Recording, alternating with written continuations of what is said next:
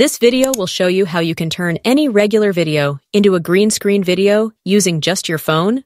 Turning your video into a green screen allows you to remove the background and replace it with anything you want. Cool effects, custom images, or other videos. It's perfect for content creators, TikToks, memes, and similar.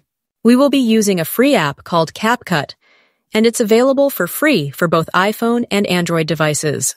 I will leave the app link in the description of this video, so you can go ahead and download the app.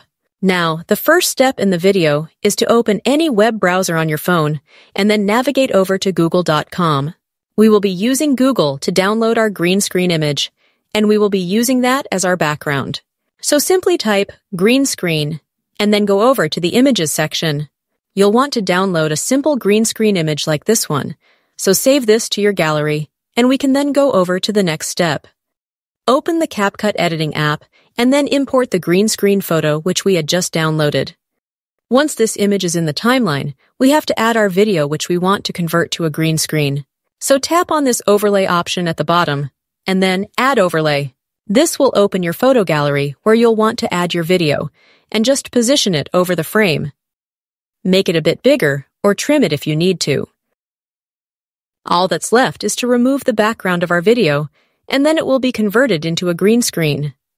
We can do that two ways. Scroll through these options at the bottom, and then click on this Remove BG tool. And if you are a Canva Pro user, then tap on this Auto Removal option, and then CapCut will make a cutout for us automatically, and it will remove the background.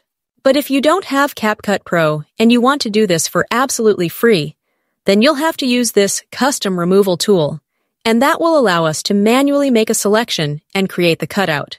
This process can be a bit boring, and it can take a couple more minutes, but in the end, when you do create a cutout, you'll be left with your green screen video.